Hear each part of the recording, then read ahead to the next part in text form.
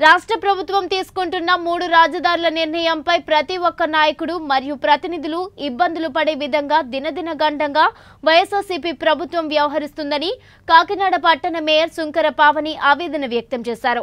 తూర్పుగోదావరి జిల్లా కాకినాడలో మేయర్ సుంకర్ పావనిని కూడా పోలీసులు హౌస్ అరెస్ట్ చేయడం జరిగింది. ఈ సందర్భంగా కాకినాడ మేయర్ సుంకర్ పావని మాట్లాడుతూ వైఎస్ఆర్సీపీ ప్రభుత్వం మూడు రాజధానులు అని ప్రకటించడంపై ప్రజల్లో వ్యతిరేకత అనేది వచ్చిందని అన్నారు. దీని వలన ప్రజలకు మరియు భవిష్యత్తు తరాల వారికి వైసీపీ ప్రభుత్వం అన్యాయం చేస్తున్నారని పేర్కొన్నారు. అమరావతిలో రైతుల ఇబ్బందులు పడుతున్న పరిస్థితి ఏర్పడిందన్నారు. అమరావతిని రాజధానిగా ఉంచినట్లయితే రెవెన్యూ పరంగా ఎంతో అభివృద్ధి అయ్యి ఉండేదన్నారు.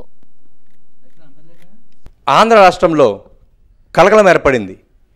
దినదిన గండంలాగా ఈ రాష్ట్ర ప్రభుత్వం తీసుకుంటున్న నిర్ణయాలు ప్రతి ఒక్క మానవుడికి ప్రజాప్రతినిధులకి ఇబ్బంది పడే వాతావరణంగా బావిందని ఇప్పుడే రోడ్ల ఎమ్మెల్యే గారు చాలా స్పష్టంగా చెప్పడం జరిగింది.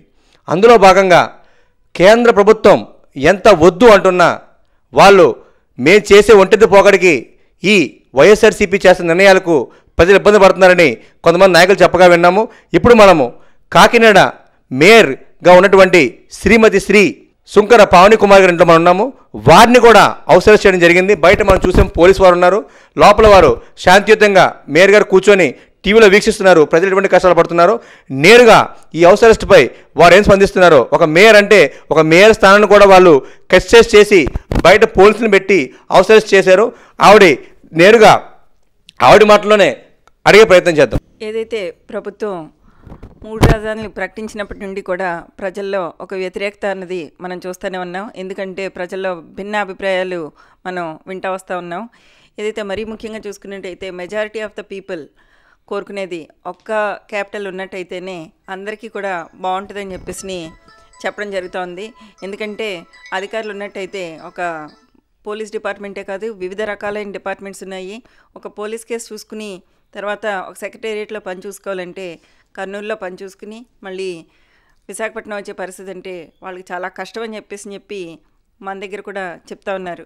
మరి ఇటువంటి పరిస్థితిని ప్రభుత్వం మరి ప్రజల అభిప్రాయాన్ని కూడా తెలుసుకుని ఒక మంచి నిర్ణయం తీసుకున్నట్టయితే మరి ప్రభుత్వం ఏర్పడి ఏడు నెలలు అయింది కాబట్టి ప్రభుత్వం తీసుకున్న నిర్ణయానికి ప్రజలందరూ హర్షించే విధంగా ఉంటుందని చెప్పేసి మేమందరం కూడా భావిస్తున్నాము. మరి ఈరోజు చూసుకున్నట్టయితే మరి అందరినీ కూడా హౌస్ అరెస్ట్ చేసి ఎక్కడ బయటకు వెళ్ళని పరిస్థితిలో మరి పెట్టడం జరిగింది. మరి దీనివల్ల మరి ప్రభుత్వం తీసుకున్న నిర్ణయం వాళ్ళే ప్రశ్నించుకోవాలి.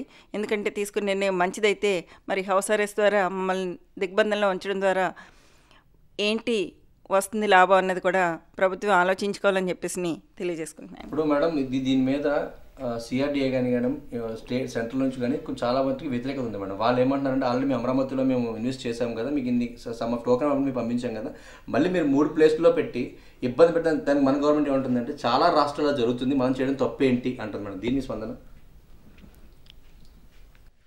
చాలా రాష్ట్రాల్లో జరుగుతుంది. మన దగ్గర జరిగితే తప్పేంటి అంటే మన రాష్ట్రం విడిపోయింది. విడిపోయిన తర్వాత మన టూ థౌజండ్ ఫోర్టీన్ తెలుగుదేశం ప్రభుత్వం అధికారంలోకి వచ్చిన తర్వాత ఎంత ఆర్థికంగా లోటు బడ్జెట్లో మనం అధికారాన్ని చేపట్టి సమర్థవంతంగా తీసుకెళ్ళామా లేదా అన్నది ప్రజలకి తెలుసు. అదేవిధంగా మీకు కూడా తెలుసు. మరి ఇప్పుడు అమరావతిని ప్రత్యేకంగా తీసుకుని మరి ఎంతో భూమిని ల్యాండ్ పూలింగ్ చేసి అక్కడ రైతులు కానీ అదేవిధంగా ఈరోజు ఎంతోమంది మహిళలు కూడా రోడ్డు మీదకి వచ్చిన పరిస్థితి ఉన్నది. మరి ఒక్క క్యాపిటల్లే ఉంచడం ద్వారా ఇప్పుడు గ్రేటర్ హైదరాబాద్నే తీసుకున్నట్టయితే మరి అప్పట్లో చంద్రబాబు నాయుడు గారు చేసిన కృషి వల్లే మరి ఈరోజు హైటెక్ సిటీ అనేది ఏర్పడడం జరిగింది. మరి అదేవిధంగా అమరావతి కూడా వచ్చినట్టయితే మరి మనకి రెవెన్యూ పరంగా కూడా ఎంతో అభివృద్ధి ఉండేది. మరి ఇటువంటి లోటు బడ్జెట్లో మనం రెవెన్యూ పెంచుకోవాల్సిన అవ ఆవశ్యకత ఎంతైనా ఉంది. ఒక్క ప్లేస్ని ఆయా ఐసోలేటెడ్గా పెట్టేశారు అని చెప్పేసి అనుకుంటున్నారు. కానీ దానివల్ల ఎంతో అభివృద్ధి అన్నది ఎక్కువగా జరుగుతుంది. రెవెన్యూ అన్నది పెరుగుతుంది అన్నది కూడా ప్రజలందరికీ కూడా అర్థమవుతున్న విషయం. మరి ఈ విషయాన్ని వ్యతిరేకంగా తీసుకుని మరి ఇంకో విధంగా ప్రజల్లోకి తీసుకెళ్ళడానికి చేస్తున్న ప్రయత్నం అని చెప్పేసి మేము భావిస్తున్నాం మేడం కాకినాడని గ్రేటర్ కాకినాడ చేయడానికి సలహాలు చేస్తున్నట్టు మాకు ఇంటెలిజెన్స్ రిపోర్ట్ ఉంది మేడం. అందులో మేయర్ మేయర్ స్థానంగా మీరు ఉండి పవని గారు మీరు మీ పాత్ర ఎంతవరకు ఉంటుంది అంటే మీరేమంటారు? అంటే మీ సక్సెస్ వల్ల జరిగిందని మేము అనుకోవచ్చా? ఏదైనా ఒక మంచి నిర్ణయం తీసుకున్నట్టయితే అందరూ కూడా హర్షించేదే. కాకినాడ గ్రేటర్ కాకినాడ అయినట్టయితే ఇప్పుడు గ్రేటర్ విశాఖపట్నం చూస్తున్నాము అదేవిధంగా హైదరాబాద్ని కూడా చూస్తున్నాము. మరి వార్డులు పెరుగుతాయి. వార్డులు పెరిగినట్టయితే మ- ఇంకా సులభతరమైన పాలన అదేవిధంగా వార్డులు కూడా ఇంకా అభివృద్ధి చెందే అవకాశం ఉంటుంది. మరి ఆ అవకాశం మా ద్వారా చేయగలుగుతున్నాం అంటే మాకు కూడా సంతోషంగానే ఉంటుంది. ఎందుకంటే ఇప్పటికే చూస్తున్నాం కాకినాడ చాలా వరకు మరి మనం డెవలప్ చేసుకోగలిగాము.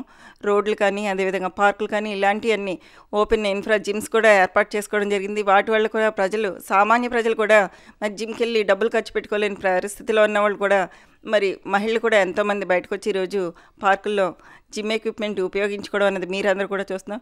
ఇటువంటి మెరుగైన ఆహ్లాదకరమైన వాతావరణం ఇంకా మంచిగా కాకినాడ డెవలప్ అవుతుంది అవుతుంటే అందరికీ కూడా సంతోషమే. మీరు మేయర్గా వచ్చిన దగ్గర నుంచి చాలా అభివృద్ధి కార్యక్రమాలు జరుగుతున్నాయి నేను కూడా స్పష్టంగా చూస్తున్నాను మేడం. ఇంకా ఇటువంటి డెవలప్మెంట్స్ మీరు ఏం ప్లాన్ చేసుకున్నారు? అంటే ప్రతి పార్క్ ఒక వివేకానంద పార్క్ కానివ్వండి సిద్ధార్థ పార్క్ కానివ్వండి ఏ పార్క్ తీసుకున్నా సరే జిమ్ మెటీరియల్ అనేది పక్కగా పెట్టారు. అది మేయర్గా మీరు ఉన్నప్పుడు జరిగింది. అది మేము కూడా స్పష్టంగా చూసాం. ఇంకా ఎటువంటి స్టెప్స్ మీరు తీసుకోబోతున్నారు డెవలప్ చేయడానికి కాకినాడని? ఇప్పుడు పార్క్స్ కానీ ఇలాంటివన్నీ కూడా చాలా బాగా డెవలప్ చేసుకోవడం జరిగింది. మనం అక్కడ ప్రత్యేకంగా చూసుకున్నట్టయితే మరి ఎక్కువ లైటింగ్ కానీ ఇలాంటివన్నీ ఏర్పాటు చేసుకోవడం జరుగుతుంది. మరి వాటి ద్వారా కరెంటు బిల్ అనేది ఎక్సెస్ మరి కార్పొరేషన్ భరిస్తూ వస్తూ ఉంది. దాని గురించి కూడా ఒక ఆలోచన మొన్న మీటింగ్లో చెప్పడం జరిగింది బోర్డు మీటింగ్లోని. ఏదైతే సోలార్కి వెళ్ళినట్టయితే మన కరెంట్ కన్సంప్షన్ అనేది చాలా వరకు తగ్గుతూ ఉంటుంది.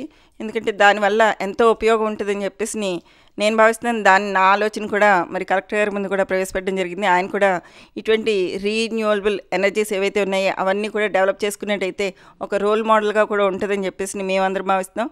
ఇటువంటి విషయాల్లో మరి అందరూ ఒక మంచి నిర్ణయం తీసుకుని మన రెవెన్యూని మనం కొంచెం కాపాడుకోగలిగితే డెవలప్మెంట్ యాక్టివిటీస్ మీద ఇంకా పెంచుకోగలుగుతామని చెప్పేసి నేను భావిస్తాను కాకినాడ డెవలప్మెంట్ కోసం మేము తీసుకోవాల్సిన జాగ్రత్తలు తీసుకుంటాం. అదేవిధంగా సెంట్రల్ గవర్నమెంట్ వద్దు అన్నప్పటికీ రాష్ట్ర ప్రభుత్వం కావాలని చేస్తుంది. ప్రజలు మనల్ని తీసుకోవాలి తప్ప ప్రజలను వ్యతిరేకం చేయకూడదని చెప్పి చాలా స్పష్టంగా మేరుగా చెప్పడం జరిగింది. ఇటువంటి చర్యలు చేయకుండా మాకు ఎంత అవసరం చేసి మేము ప్రజల కోసం ఉన్నామని చెప్పడం జరిగింది. కెమెరామెన్ వెంకీతో సాగర్ నైన్టీ న్యూస్ కాకినాడ.